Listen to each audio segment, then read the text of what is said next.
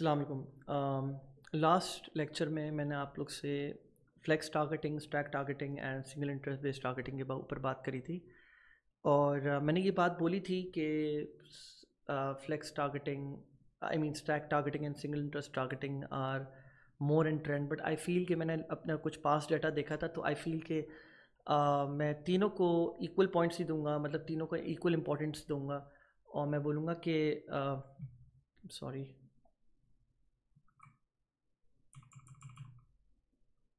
कि तीनों equally important हैं राइट सो अब इसके बाद हम बात कर लेते हैं ऑडियंस टारगेटिंग बेस के ऊपर ठीक है? तो सबसे पहले तो मैं आप लोग से नॉर्मल um, और कॉमन टारगेटिंग के ऊपर बात कर लेता हूँ कि नॉर्मल और कॉमन टारगेटिंग होती क्या है? सर जो टारगेटिंग वेज हैं ये ये है कि आपको किस किस तरह क्या क्या आइडिया जनरेशन हो सकती है जिस वक्त आप टारगेटिंग कर रहे हो फेसबुक एड्स पे अपने प्रोडक्ट के लिए राइट नॉर्मल कॉमन टारगेटिंग ये होती है कि लेट सपोज़ मैं इस मिनरल वाटर बॉटल की बात कर लूँ तो अगर आप इसकी टारगेटिंग करने जा रहे हो तो पहली चीज़ क्या आएगी आपके दिमाग में? मिनरल वाटर बॉटल और mineral water so mineral water आपने कर लिया या आपने इससे रिलेटेड और कोई आपके दिमाग में आइडियाज़ आ गए, वो आपने कर लिया, या सेल फ़ोन हो गया तो सेल फोन्स आपने कर लिया एंड्रॉयड कर लिया, बहुत ज़्यादा हो गया तो थोड़ा सा उसमें, ठीक है? तो दिस इज़ द नॉर्मल और कॉमन टाइप ऑफ़ टारगेटिंग जो कि आप फ्लैक्स में स्टैकिंग में और सिंगल इंटरेस्ट बेस पे ऐड कर सकते हो फ्लैक्स कर सकते हो स्टैक कर सकते हो। Affinity based affinity based targeting पहले तो मैं आपको ये बता दूँ एफिनिटी बेस्ड होता क्या है, ठीक है? मैं आपको पहले ऑडियंस इंसाइट टूल के ऊपर लेके आता हूँ। तो पहले मैं आपको ये बता दूँ ऑडियंस इंसाइट टूल मिलता कैसे है? ऑडियंस इंसाइट टूल के लिए आप अपने फेसबुक के इस सैंडविच आइकन के ऊपर क्लिक करके नीचे स्क्रॉल करोगे और फॉर सम रीज़न मेरा स्कॉलर चल नहीं रहा। हाँ ओके नीचे स्क्रॉल करोगे और आप यहाँ पर देख रहे हो ऑडियंस एंड साइट टू इसके ऊपर आप राइट क्लिक करके ओपन करोगे फिर लिखा हुआ आएगा कि you want to target every और जो स्पेसिफिक ग्रुप तो आप बोलोगे एवरी वन एवरी वन करके आप जो है यहाँ आ जाओगे और यहाँ पे आपको बिल्कुल आई I मीन mean, बिल्कुल इसी तरह आपको ऑडियंस इनसाइट टूल नज़र आएगा, जैसे अभी नज़र आ रहा है आपको, ठीक है? फ़र्क ये है कि यहाँ पे कोई इन्फॉर्मेशन नहीं होगी। Let me just open up audience insight tool one more time in front of you ताकि आपको पता चले कि एग्जैक्टली क्या स्टेप्स लेने आपने।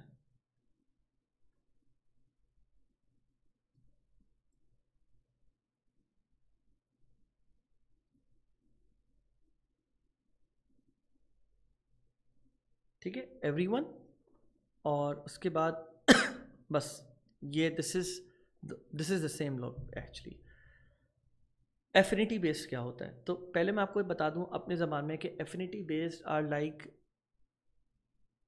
for example मैं आपके पेज की बात कर लेता हूँ। आपका एक पेज है जिसका नाम ए बी सी है। और आप बोलते हैं, यार, मेरी ऑडियंस बहुत ही ऐसी ऑडियंस है जो मेरे लिए कन्वर्ट करती है। ठीक है? या इवन आपके कॉम्पिटिटर का भी पेज हो सकता है वो। ठीक है? और आप ये बोलते हैं कि मुझे ऐसे पेजेस टारगेट करने हैं पेजेस ठीक है? जिनकी audience is very close to mind audience different हो, लेकिन उनका बिहेवियर इंटरेस्ट और बाकी सारी चीज़ें बहुत सेम हो। एग्ज़ाम्पल ले लेता हूँ। क्या हम ये कह सकते हैं कि करीम की ऑडियंस वही है जो ऊबर की ऑडियंस है? मतलब I mean more less very close the likelihood of the audience of your audience being on another platform is basically affinity based audience ठीक है? तो अब मैं आपको एग्जांपल दे देता हूँ। मैं आपको पाकिस्तान से रिलेटेड एग्जांपल देता हूँ दराज की फॉर एग्जांपल सही है?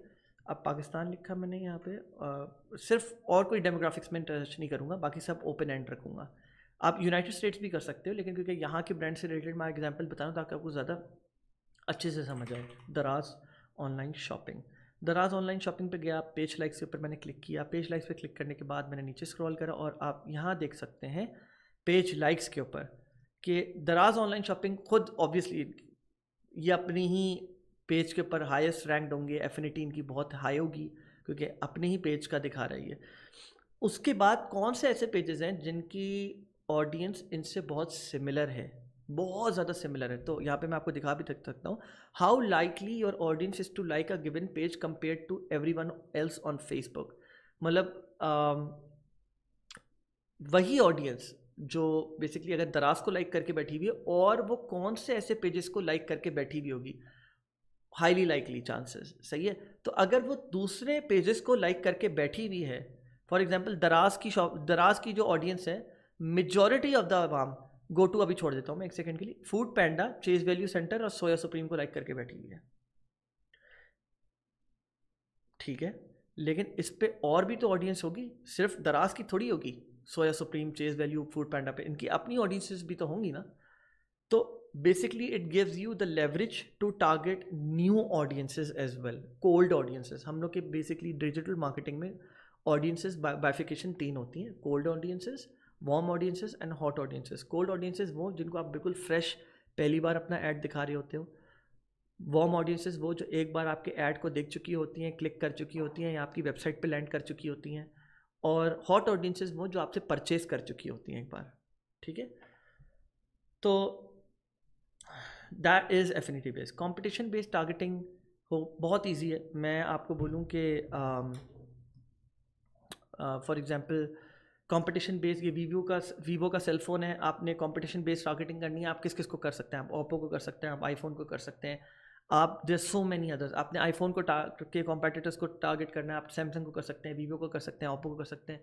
एंड इसको सबसे आसान तरीका मैं आपको बता दें तो ढूँढने का तरीका क्या है? इसका सबसे आसान तरीका ये है कि फॉर एग्जांपल मैं यूएस और यूएस टारगेट मार्केट की बात करता हूँ, मैं यहाँ पे हटा के इसको यूएस कर देता हूँ।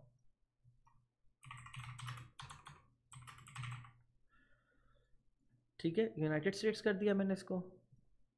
और यूनाइटेड स्टेट्स करने के बाद मैंने लेट सपोज़ मैं टॉयज़ की मार्केट में चाह रहा हूँ कि कॉम्पैटिटर्स या बड़े ब्रांड नेम कौन से हैं जिनको मैं टारगेट कर सकता हूँ? बिकॉज़ आप लेट सपोज़ मैं एक बात कहता हूँ, मैं आज आप जो है कोई ई कॉमर्स स्टोर खोलने जा रहे हो दराज जैसा। एंड आपका स्कोप है you have want to be just as big as Daraz. तो आपका सबसे बड़ा कॉम्पिटिटर कौन हुआ? दराज। ठीक है? हैविंग सेट दिस तो आपको फिर सर्च करना होगा। सबसे पहले आपको गूगल का साथ लेना पड़ेगा इसमें, ठीक है? आप जाएँगे और आप बोलेंगे, यहाँ पे मैंने पहले से सर्च करके रखा हुआ है टॉयज़ के लिए ना best U S based toy companies ठीक है? तो यहाँ पे twenty toy brands that are still made in America for example या कोई भी टेन प्लास्टिक टॉय मैन्युफैक्चरर्स और यू एस टॉय कंपनीज़ ये है। एंड ये आर्टिकल खोला मैंने, इस पर मैं नीचे स्क्रॉल करता हूँ और जो भी नॉट दिस वन एक्चुअली ये वाला आर्टिकल था। तो इसमें ये पूरे टॉप ट्वेंटी आ गए हैं। इसमें टॉप ट्वेंटी में सबसे पहला जो है वो लिटिल टाइक्स है। इसको मैंने कॉपी करा और मैं अब इसको जाके यहाँ पे पेस्ट कर दूँगा लिटिल टाइक्स को। तो अब ये मुझे उससे रिलेटेड और भी एफिनिटी बेस तो दिखाई गई, लेकिन मतलब हो सकता है कॉम्पेटिटर्स भी यहाँ पे दिखा दे। तो गूगल सर्च इंजन से तो आपको कॉम्पेटिटर्स बड़े आपको डायरेक्टली पता चल जाएँगे। तो you can use those competitors as interest targeting in your ads in your ad sets और उनको ही अगर आप यहाँ डालोगे तो हो सकता है आपको कुछ और कंपनीज़ भी मिल जाए। टॉय टॉयज आर अस तो बेबीज आर अस भी है। आप इसको भी टारगेट कर सकते हो। Buy Buy Baby Fisher Price I don't know what that is सही है। Pottery Barn Kids I think these are kit furnitures and all ठीक है? तो this is basically competitor targeting and suggestion based targeting is very self explanatory आप Facebook पे जब जाते हो ऑडियंस यहाँ पे अगर मैं पेरेंट्स सॉरी लीव पेरेंट्स अगर मैं ले सपोज़ मैं एक बात कह लेता हूँ कि मैं अमेज़ोन टाइप करता हूँ। ठीक है? तो ये मुझे ई भी ऑटोमेटिकली दे देगा। ई भी ऐड कर दूँगा तो मुझे और ज़्यादा क्लोजली रिलेटेड सर्चेस सजेशंस दे देगा मुझे। अली बाबा दे दिया एटसी दे दिया मुझे। सही है शॉपफाई दे दिया टी मॉल दे दिया वॉलमार्ट दे दिया विश दे दिया, ठीक है? तो कितने सारे इसने सजेशंस दे दिए। तो इस, इधर से भी काफ़ी सारा आपको इसका आइडिया हो जाता है कि फेसबुक और कौन सी, कौन की कौन कौन सी टारगेटिंग इंटरेस्ट टारगेटिंग इनके पास है आपको एक्सप्लोर करने को मिल जाता है, ठीक है? तो ये भी आप कर सकते हो। Just add two two three और फिर लेट इट फ्लो जो आपको और सजेशन देता रहेगा। Look like targeting one to six percent और you can also call it zero to six percent ठीक है? अच्छा सो so, ये थोड़ा सा आ, मैं आप लोग को एक्सप्लेन कर देता हूँ आप लोग को समझ आ जाएगा। पहले तो मैं आपको ये बता दूँ देखिए लुक लाइक ऑडियंसेस जो हैं लुक लाइक ऑडियंसेस क्रिएट करने से पहले आपको एक स्टेप पीछे जाना पड़ता है और कस्टम ऑडियंसेस क्रिएट करनी पड़ती हैं। मैं अब आपको ये बता देता हूँ लुक लाइक ऑडियंसेस क्या होती हैं। लुक लाइक ऑडियंसेस ये होती हैं कि मैंने आपको एक दफ़ा फेसबुक पिक्सल का एक पूरा कॉन्सेप्ट समझाया था कि फ़ेसबुक आपसे ये बोलता है कि मुझे एक हफ़्ते के अंदर पचास कन्वर्जन्स चाहिए। कन्वर्जन परचेस नहीं बोलना ज़रूरी, वो आपके ऊपर मैटर करता है कि आपने उसको किस चीज़ पे ऑप्टिमाइज़ करा हुआ है। सही है? आई थिंक मेरे पास इस पर फेसबुक कन्वर्जन इवेंट अल्लाह अगर इस पर आ जाए तो मैं आपको दिखा दूँ। आई थिंक ये रहा। हाँ ये देख रहे हैं, ये जब आप वेबसाइट कन्वर्जन क्रिएट कर रहे होते हैं तो सबसे पहली चीज़ आपसे पूछता है कि ऑप्टिमाइज फॉर अ कन्वर्जन तो कौन से कन्वर्जन इवेंट ये इवेंट सेलेक्ट कर रहे होते हो?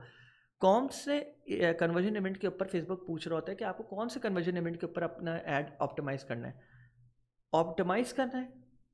इसका मतलब ये कि जब आप फेसबुक को एक ज़्यादा इन्फॉर्म पिक्सल डाटा देते हो फॉर दैट गिवन इवेंट पचास माँगता है बेयर मिनिमम फेसबुक कम दोगे तो फेसबुक इतना ऑप्टिमाइज़ नहीं करेगा। ज़्यादा दोगे तो बहुत अच्छा ऑप्टिमाइज़ करेगा। तो फेसबुक करता क्या है कि एक हफ़्ते के अंदर पचास इवेंट्स लेता है। पचास इवेंट्स को लेने के बाद फेसबुक ये देखता है कि ओके आपने पचास इवेंट्स दिए हैं। इन पचास लोगों ने इंडिविजुअल जिसने आपका प्रोडक्ट ख़रीदा है हम इसको जाएँगे और इसी तरह के बिहेवियर और इसी तरह के लोगों को हम अपने डेटाबेस में से ढूंढ के निकालेंगे और उनको आपका ऐड दिखाएँगे। And then we will see कि कितने चांसेस बढ़ जाते हैं आपके कन्वर्जन के। ठीक है? So this is what it is look like audiences अब क्या होती हैं? ये इससे ही थोड़ी सी मैं आपको बताता हूँ कैसे डिराइव होती हैं। आपने ले सपोज़ पचास कन्वर्जन इवेंट उठाए।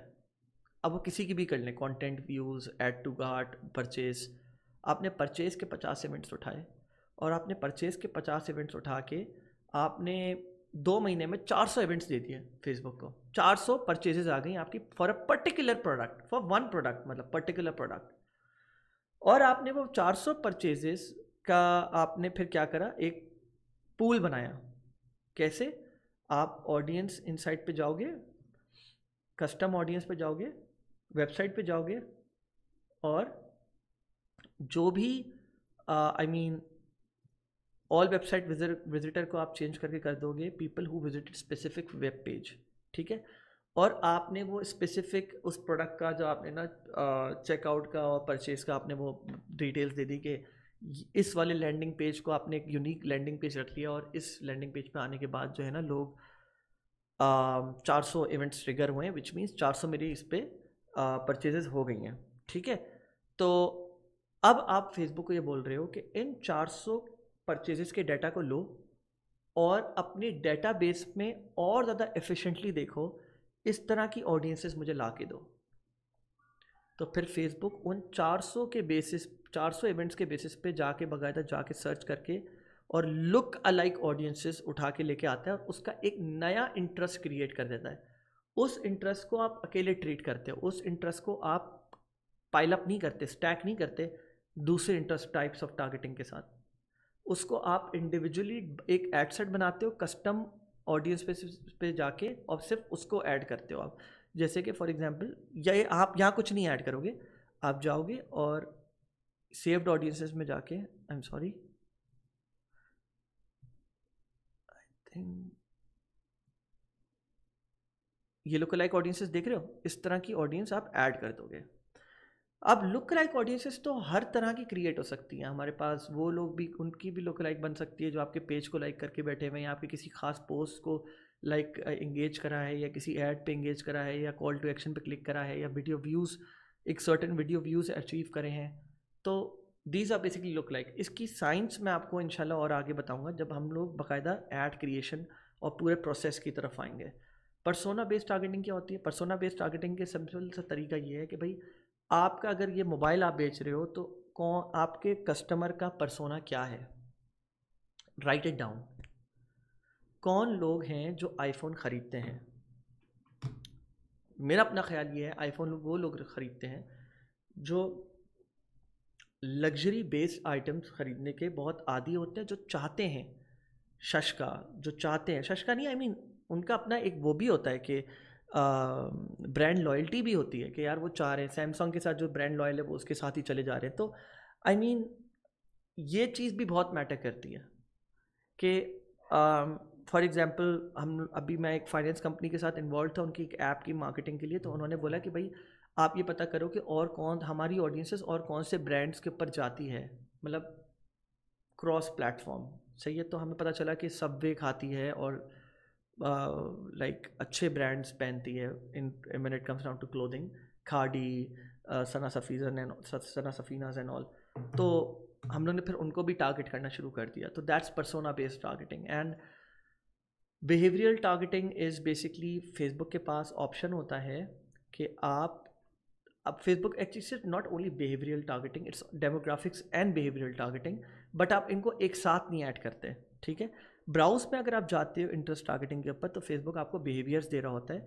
पहले फेसबुक एक ज़माने में ये ज़्यादा देता था 2016-17 में जो है ना फेसबुक के तकरीबन दो तीन सौ और बल्कि इससे ज़्यादा इंटरेस्ट बेस्ड टारगेटिंग होते थे बिहेवियर में। उनका जो स्कैंडल हुआ था कैम्ब्रिज एनालिटिका के कैम्ब्रिज एनालिटिका के बाद, उसके बाद से जो है ना, काफ़ी मसले आए, इन्होंने बहुत सारों को रिडेंडेंट कर दिया। लेकिन अभी भी आप देख सकते हैं, यहाँ पे बहुत सारे बिहेवियर टारगेटिंग रमज़ान मंथ में जब आप आ रहे हों तो बाकायदा close friends of people engage with Ramzan content Ramzan month high content engagement Ramzan month medium content engagement purchase behaviour में आ गए तो इंगेज शॉपर्स एक बहुत मशहूर बिहेवियर है। वो कर लिया। डेमोग्राफिक्स की तरफ़ आ गए तो आप वहाँ पर देख रहे हो पेरेंट्स को आप टारगेट सकते हो। ऑल पेरेंट्स करना है आपने या सिर्फ़ उन पेरेंट्स को करना है जिन जिनके जो कि न्यू पेरेंट्स हैं from zero to twelve months हुए हैं जिनको, या पेरेंट्स जिनके बच्चे हैं, जिनके एटीन टू ट्वेंटी सिक्स की एज तक के बच्चे हैं। अच्छा सो आप ये टारगेटिंग कर सकते हो, लेकिन एक बात याद रखना, इन टारगेटिंग को कभी भी दूसरी जो normal targeting interest based targeting है ना, उनके साथ मिक्स नहीं करना। मतलब बिहेवियर्स को अगर ऐड कर रहे हो तो बिहेवियर में अगर तुमने इंगेज शॉपर्स को ऐड कर दिया तो उसको इसी लेवल पे इंटरेस्ट बेस्ड टारगेटिंग के साथ, किसी इंटरेस्ट के साथ ऐड मत करना बिकॉज़ वो मिक्सअप कर देगा। बिहेवियर और डेमोग्राफिक बेस्ड टारगेटिंग वो होती है जो फेसबुक यूज़र्स अपने ही डाटा प्रोफ़ाइल का फेसबुक को दे रहे होते हैं, बोल रहे होते हैं यूज़ करो इसको। ठीक है?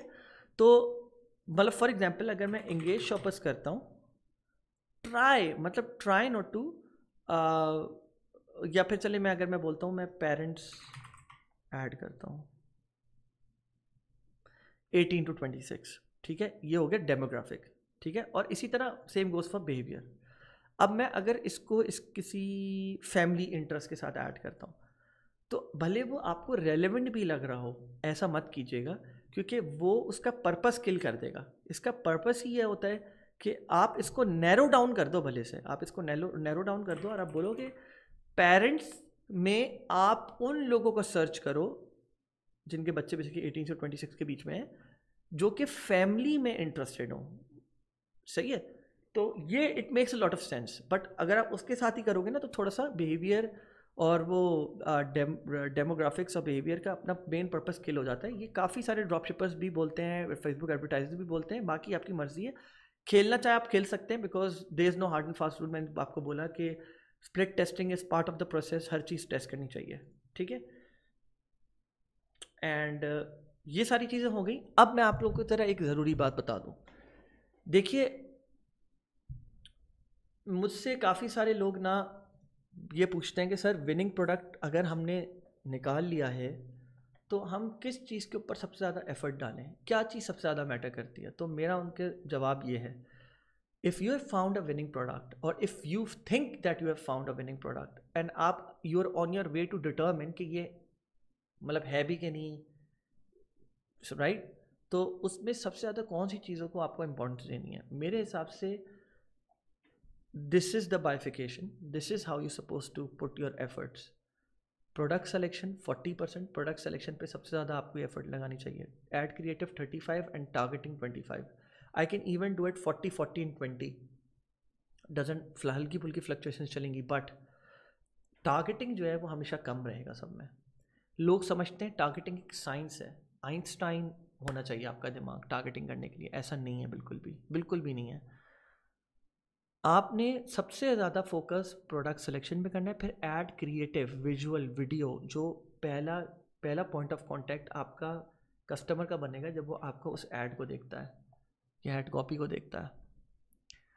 क्योंकि अगर वो एंटाइसिंग नहीं हुई तो प्रॉब्लली वो ही won't give a shit about product even though it has to be a good offer it has to be enticing video बहुत लेम सी वीडियो ना हो कि आपने स्लाइड्स बना के डाल दी हैं या जो भी। आई I मीन mean, बस क्वालिटी अच्छी है उसकी।